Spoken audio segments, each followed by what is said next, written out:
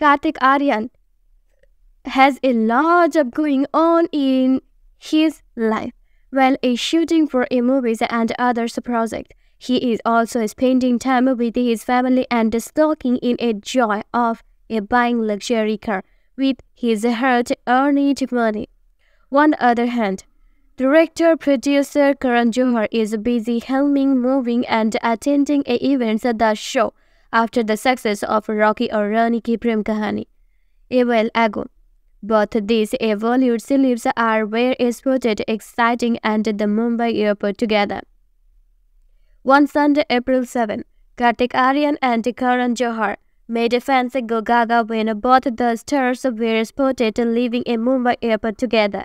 In the image, the Sonu ki Titu ki sweetie actor can be seen dressed casually in a blue and pink Alliance shirt and a pair of light blue jeans. He completed his look with a smart vest, western and a pair of sneakers. As for the Adil Ae Dil Hai Mushkil director, the looked deeper in his all-black outfit for the trouble KJO known with a round neck t-shirts and with a matching pants. He layered it up with a black jacket. Karan appears up with a OOTN with a long chain with a local locket, a luxury bag, a pair of a sneaker and a bracelet. Don't miss that.